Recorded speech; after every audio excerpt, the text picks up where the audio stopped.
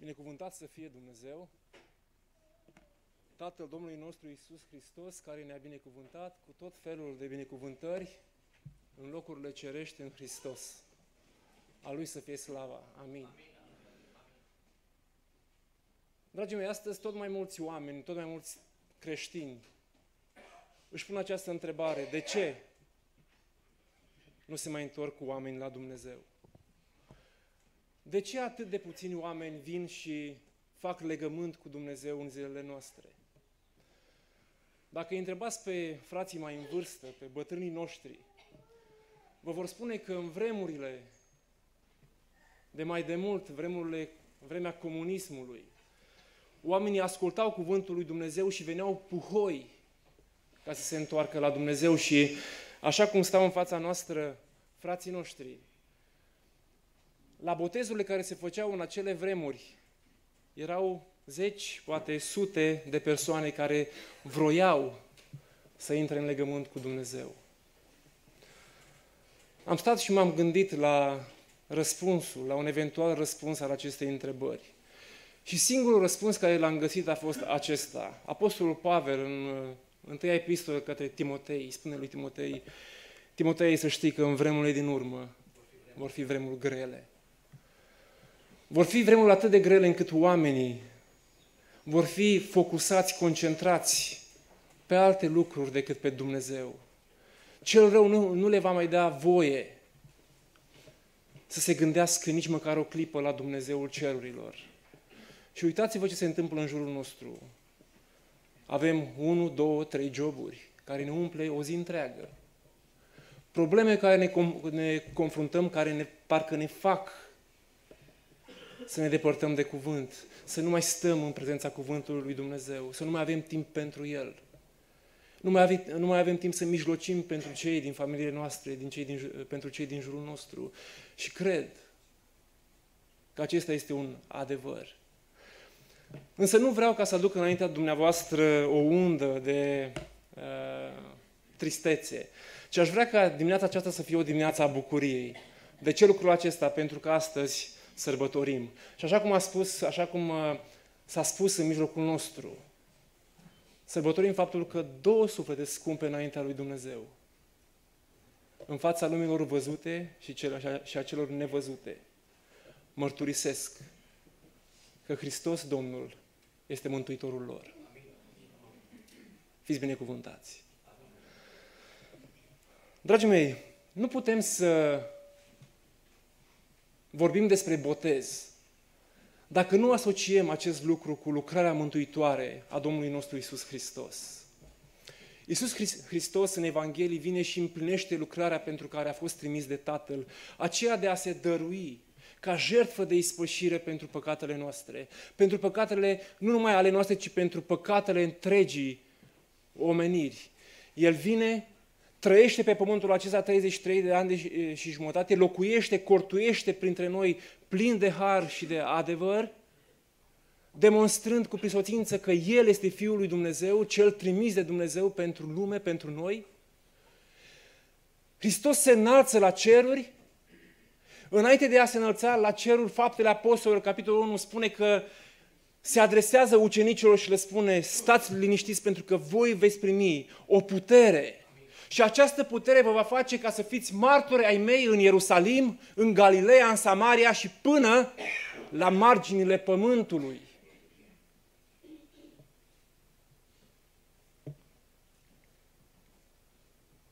Iar în ziua cinzecimii, în ziua de Rusalii, ia ființă biserica pe care Hristos a promis-o ucenicilor când i-a spus lui Petru, Petre, pe această piatră voi zidi biserica mea. Dragii mei, în ziua cinzecimii, în ziua rusaliilor, ia ființă biserica. Și acest lucru îl știm fiecare dintre noi. Însă, întrebarea logică ce urmează este cum poate un om să intre în Biserica lui Dumnezeu sau care este mecanismul prin care un suflet un păcătos poate să intre în trupul lui Hristos. Haideți să deschidem împreună cuvântul lui Dumnezeu în Faptele Apostolilor, la capitolul 2. Să citim de la versetul 36 până la versetul 43. Pagina în Sfintele Scripturi, 1057. Și cuvântul lui Dumnezeu spune astfel. Ne aflăm în uh, ziua cinzecimii, a rusalilor, atunci când Duhul Sfânt coboară în, în, în, uh, ca niște limbi de foc peste ucenicii adunați. Lumea începe ca să se strângă, cuvântul lui Dumnezeu se propovăduiește în fiecare limbă a celor care erau adunați la acea sărbătoare în Ierusalim.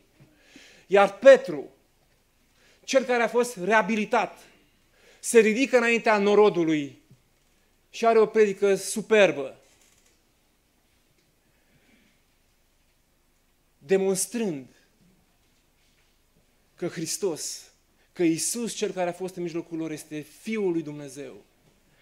Să știe bine, dar toată casa lui Israel, spune Petru, că Dumnezeu a făcut Domn și Hristos pe acest Isus pe care l-ați răstignit voi.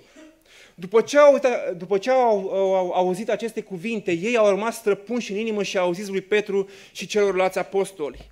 Fraților, ce să facem?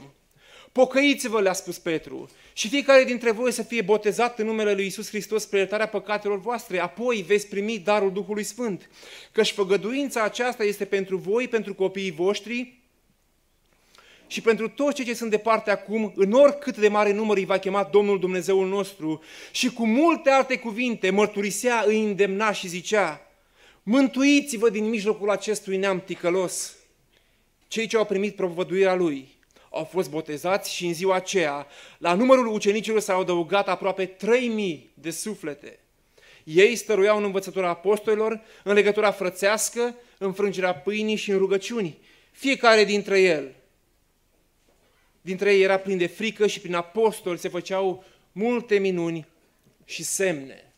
Care este mecanismul prin care un om se poate întoarce la Dumnezeu? Care sunt pașii care, pe care un om trebuie să-i parcurgă pentru ca să se împace cu Dumnezeul cerurilor și al pământului? Dragii mei, sunt convins că toți acești pași i-ați făcut și dumneavoastră. Și primul pas este că cuvântul lui Dumnezeu a fost proclamat. Cuvântul lui Dumnezeu a fost vestit. Și cuvântul lui Dumnezeu spune în uh, uh Romani la capitolul 10 că și prin credința în inimă se ajunge la, la neprihănire și prin mărturisirea cu gura se ajunge la mântuire. În altă parte, Pavel spune, dacă nu vorbesc, cine să audă? Cum să se întoarcă cei din jurul meu? Cuvântul lui Dumnezeu a fost proclamat și în viețile dumneavoastră. Cuvântul lui Dumnezeu a fost propovăduit și proclamat. Hristos, Domnul nostru, Mântuitorul lumii, a fost vestit ca singura cale către Tatăl din ceruri. Acesta este primul pas spre împăcarea cu Dumnezeu. Să știe, dar, bine, toată casa lui Israel, că acest Isus, că Dumnezeu a făcut Domn și Hristos pe acest Isus pe care l-ați răstignit voi. Și pe acest Isus, dragii mei, l-am răstignit fiecare dintre noi atunci când trăiam în păcat. Când eram vrășmași ai lui Dumnezeu. Al doilea pas pe care trebuie să-l facem și pe care l-ați făcut a fost acesta când ați auzit și când ați văzut ceea ce, ceea ce ne este Dumnezeu. Ați fost, ați fost convinși de păcatul din viața dumneavoastră. Și cuvântul Domnului spune că după ce au auzit aceste cuvinte, ce au făcut? Au fost străpunși în inima lor. Dragii mei, dacă nu conștientizezi gravitatea păcatului din viața ta, dacă nu conștientizezi pericolul pe care îl aduce păcatul în viața ta, nu poți să te apropii de Dumnezeul cel sfânt și adevărat. Al doilea pas către Dumnezeu este acesta de a recunoaște, de a fi convins că starea ta nu este una bună înaintea lui Dumnezeu. De a fi convins că trebuie să faci ceva cu viața ta și acest lucru este pocăința. Petru le spune, pocăiți-vă și fiecare dintre voi să fie botezat în numele Lui Hristos pentru iertarea păcatului. Domn, ă, domnii mei, frații mei, pocăința este o condiție ca să te apropii de Dumnezeu. Atât Ioan Botezătorul la începutul lucrării lui, cât și Hristos mergeau și propovăduiau Evanghelia și ce spuneau? Pocăiți-vă și credeți în Evanghelie pentru că împărăția lui Dumnezeu este aproape. Pocăința, dragii mei, nu este o părere de rău. Nu. Pentru că pot, poate să-mi pară rău de un lucru care l-am făcut și să-l repet, să-l repet, să-l repet. Ci pocăința este acea stare a ființei mele în care eu decid să mă întorc la 180 de grade față de păcat. Să spun nu păcatului din viața mea. Metanoia, o schimbare a minții, o schimbare a traseului, o schimbare a direcției în care merg. Cu siguranță ați făcut și lucrul acesta. Următorul pas după pocăință este să stai înaintea lui Dumnezeu.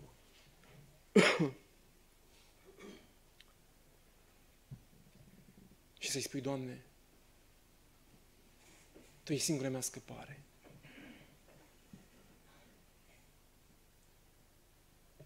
Hristos stă în rugăciune înainte să fie osândit la moarte. Se roagă Tatălui și spune, și viața veșnică este aceasta. Să te cunoască pe tine, Cel pe care l-ai trimis, singurul Fiu al lui Dumnezeu. Și pe Iisus Hristos pe care l-ai trimis tu. În capitolul 8 din Fapte îl vedem pe acel famen etiopian, care atunci când, Pet, când Filip îi propovăduiește Evanghelia, spune, cred că Isus este Fiul lui Dumnezeu. Cred că Isus este Domnul și Salvatorul meu.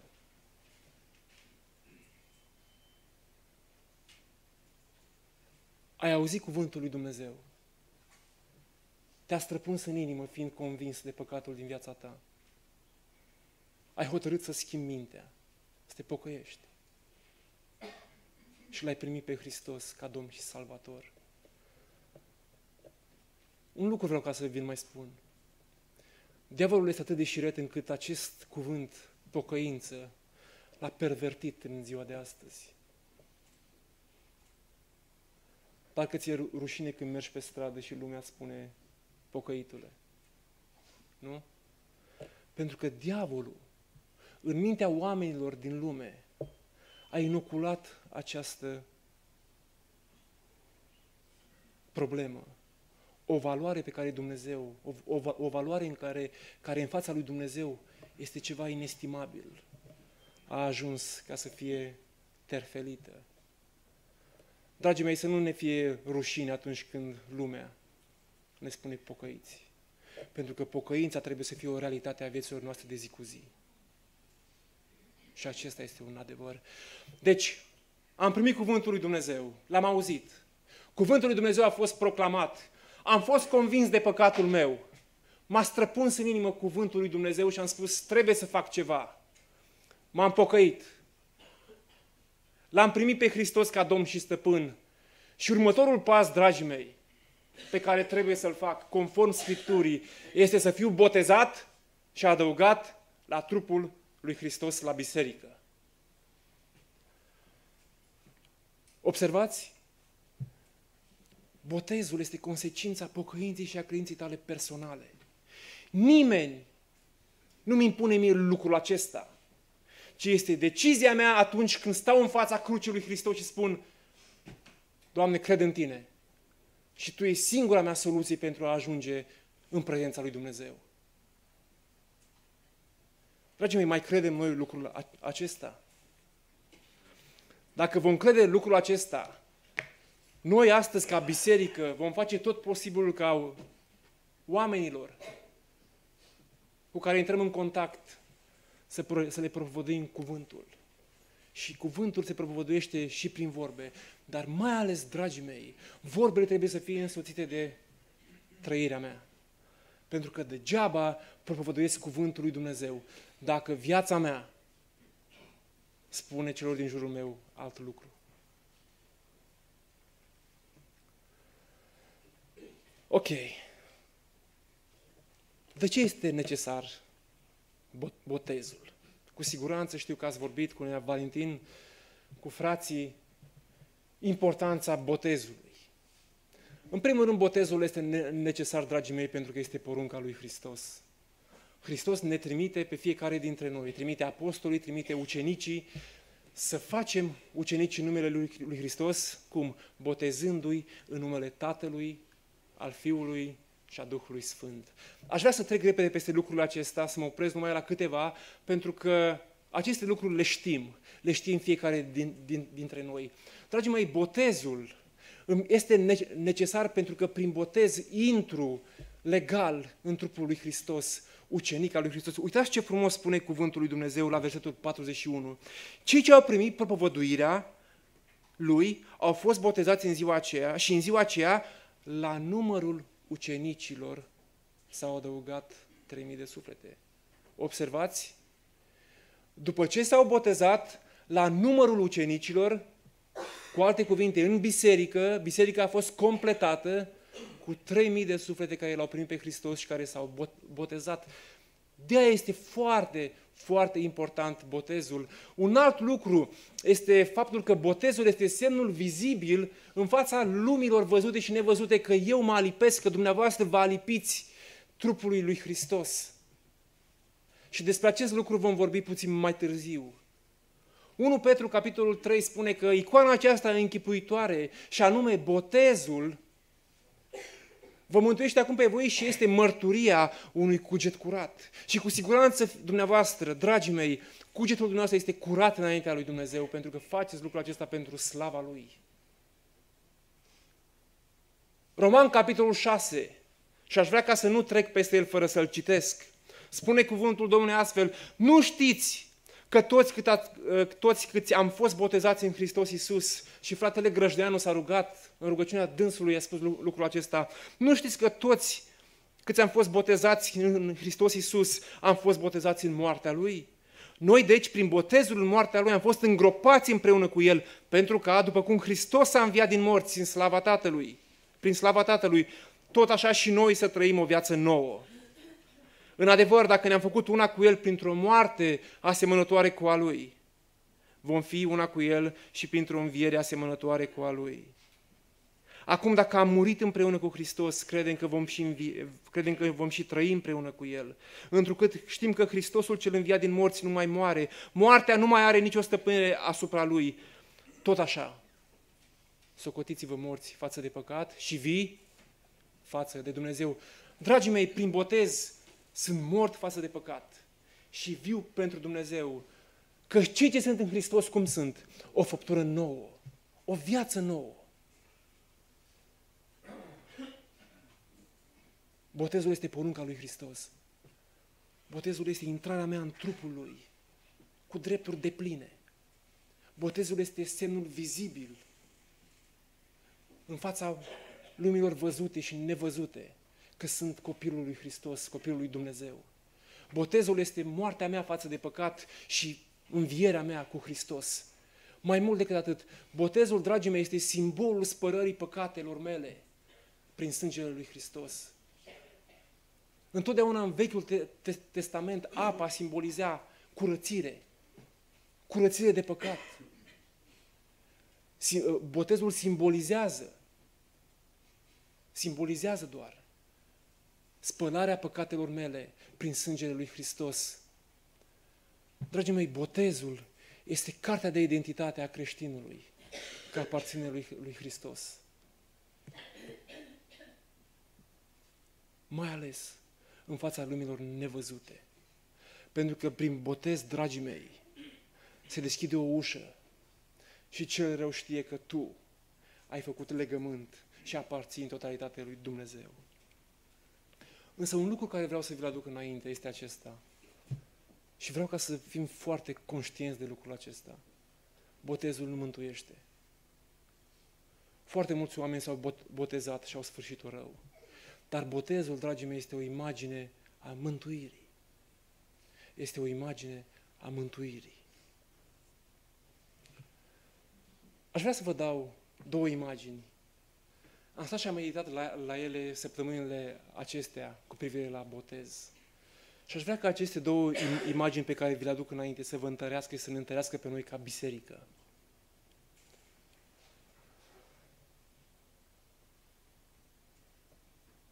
Știu că sunteți căsătoriți, însă mai trebuie să vă căsătoriți odată.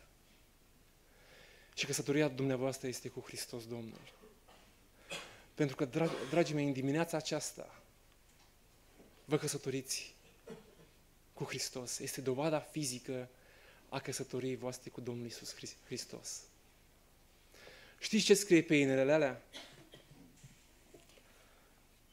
Spune că cei doi vor deveni unul.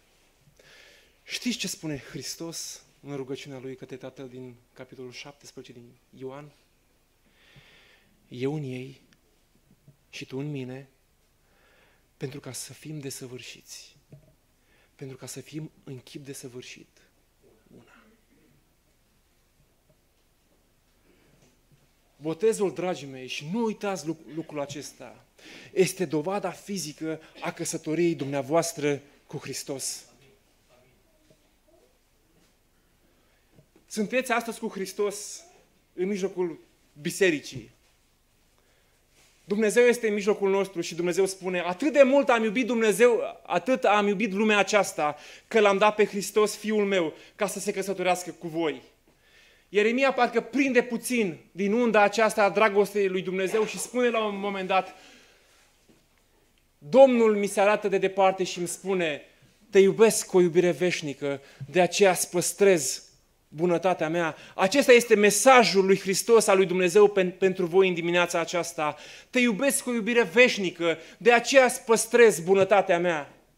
Care este răspunsul meu la declarația de dragoste a lui Dumnezeu? Psalmistul David în psalmul 18 spune, Doamne, te iubesc din inimă, Doamne, tăria mea. Doamne, Tu ești stânca mea, cetățuia mea, turnul meu de, de scăpare. Eu strig, lăudat să fie Domnul și sunt izbăvit de vrășmașii mei. Vă provoc ca în fiecare dimineață să-i spuneți lui Hristos, cum vă spuneți unul altuia, te iubesc din inimă, Doamne, tăria mea. Doamne, fără Tine în dimineața aceasta, fără dragostea Ta, fără dragostea mea către Tine, nu am nicio șansă.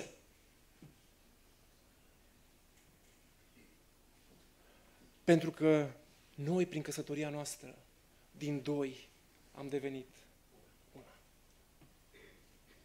Dragii mei, căsătoria este plină de bucurie. Dar din experiența fiecăruia dintre noi, în căsnicie sunt și suferințe. De aceea, atunci când apar suferințe, atunci când apar încercări, veniți cu aceeași inimă la Hristos și spuneți te iubesc din inimă, Doamne, tăria mea el va rămânea credincios promisiunilor Lui și vă, vă va spune necontenit, te iubesc cu iubire veșnică. Te iubesc cu iubire veșnică. Te iubesc cu iubire veșnică.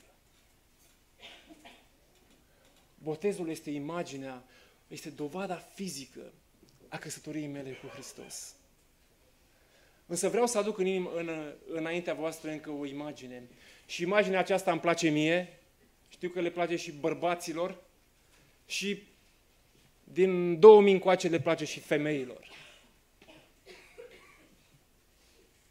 Imaginea aceasta este a unui soldat care depune jurământul. Pentru că, dragii mei, botezul este jurământul de credință pentru Hristos. Dacă la căsătorie spun, făgăduiesc să am grijă de tine. Atunci când ești în lui Dumnezeu și studiem cartea numeri, atunci când ești noastră lui Dumnezeu, spui jur. Și Dumnezeu ne-a, ne chemat, așa cum am spus, așa cum am studiat. Ne-a chemat unde? În noastră Lui. Acum fiind în acest sistem, atunci când un militar depune jurământul de credință, uitați, îl văd pe Florin, el zâmbește că își aduce aminte cu drag, cred, de momentul când, când a depus jurământul. Îl mai știi? Ți-l reamintesc eu. Primul lucru, atunci când depui jurământul, spui jur credință. Patrii mele. Da? jur credință. Dragii mei, prin botez, jurăm credință lui Hristos. Un al doilea lucru, ia ce Nea, Nea Valentin, că parcă dumneavoastră vă aduceți aminte, jur să respect legile, Constituția și legile. Da? Țineți minte ce spune Dumnezeu în Exod? Veți fi poporul meu dacă veți asculta de poruncile mele. Și acest lucru se aplică și astăzi.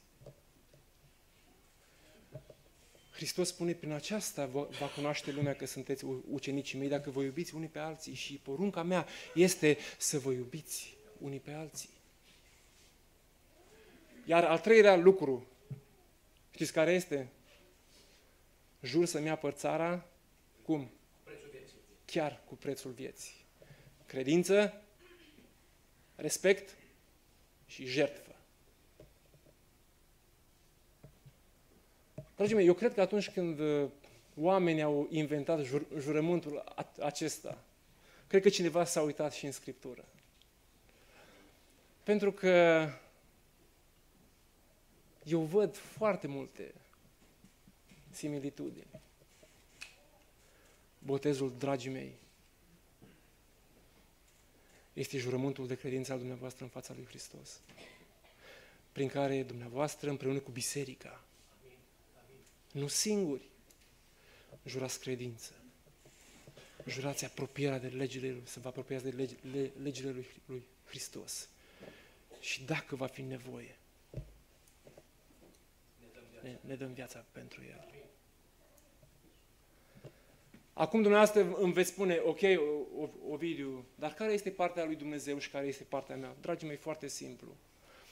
Hristos stă în fața ucenicilor înainte să plece ca un comandant suprem și le spune, iată, eu voi fi cu voi în toate zilele vieților voastre, până la sfârșitul veacului. În lume veți avea necazuri, dar îndrăzniți, pentru că eu, Hristos, am mers în, înaintea voastră și am biruit. Eu vă asigur victoria de care aveți nevoie. Și ce facem noi? Uitați ce spune Iosua, unei generații care era într-o ascultare de plină către Dumnezeu. Iosua stă înaintea lor și le spune, veți putea voi oare să slujiți lui, lui Dumnezeu? Eu și casa mea o să fac lucrul acesta, dar voi. Știți ce spune generația aceea? Noi vom sluji Domnului nostru și vom asculta glasul Lui. Ce juruință!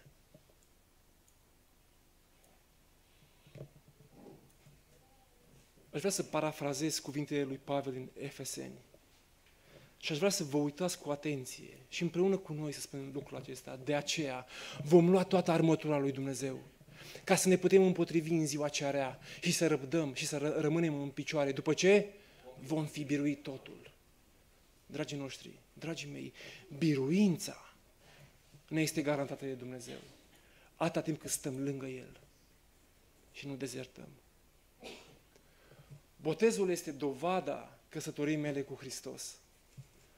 Însă botezul, pe de altă parte, este acea juruință, acel jurământ pe care îl fac în fața comandantului meu suprem. Pentru că Hristos este soțul meu, dar este și comandantul meu, Domnul oștirilor, Domn și Stăpân.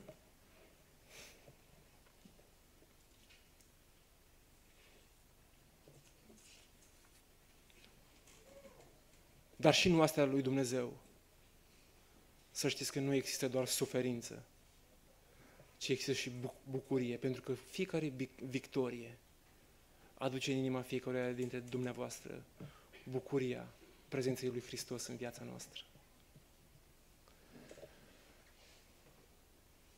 Am ascultat cuvântul lui Dumnezeu, iar inima mea a fost străpunsă. M-am pocăit, mi-am recunoscut vina. M-am botezat și am intrat în trupul lui Hristos. Ce fac mai departe?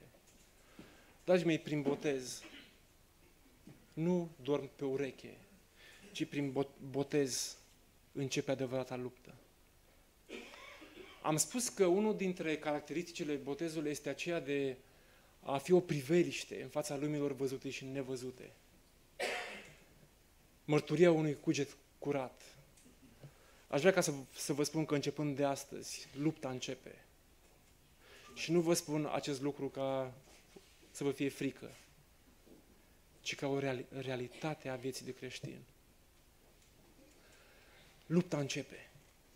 Satan va, va voi cu orice preț ca să demonstreze lui Dumnezeu, în primul rând, lumilor nevăzute, dar și lumilor văzute, că ceea ce ați spus dumneavoastră astăzi prin apa botezului nu e adevărat, ci este un fals. De aceea vă provoc, vă provoc să rămâneți alipiți de El și de biserica Lui. Acesta este resursa pe care El ne-o aduce. Lupta noastră nu, nu se sfârșește, lupta dumneavoastră nu, nu se sfârșește la botez, ci lupta dumneavoastră se sfârșește în glorie. Ia uitați ce spune cu, cuvântul lui Dumnezeu, că și ne-am făcut părtași ai lui Hristos, dacă pă, păstrăm când? Acum? Nu. Până la sfârșit încrederea nezguduită de la început. Și cel neprihănit, spune cuvântul lui Dumnezeu, este salutul bisericii noastre. Cel neprihănit va trăi prin credință, dar dacă dă înapoi, ascultați cu luarea minte fiecare dintre noi, dacă dă înapoi, sufletul meu nu găsește plăcere în el, dar Biserica lui Hristos, cei care am făcut leg- legământ cu El, noi nu suntem din aceia care dau înapoi ca să se piardă. Observați?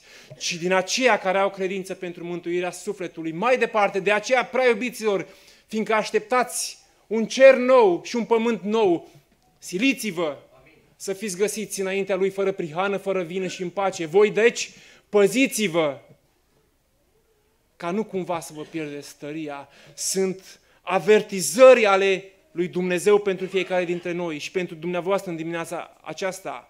Lupta abia începe.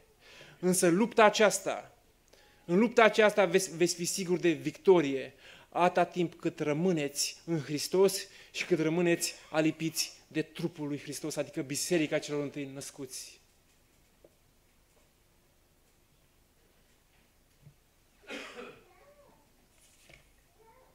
Aș vrea să închei cu versetul 41, cu 42. Ei stăruiau în învățătura apostolilor, în legătura frățească, în frângerea pâinii, în, rug- în rugăciuni. Este activitatea bisericii de zi cu zi, la care prin botez sunteți invitați și dumneavoastră să luați parte. Dragii mei, vreau să subscriu la ceea ce ni, ni, ni s-a spus. Nu este mai mare o bucurie în cer decât atunci când un păcătos se întoarce la Domnul.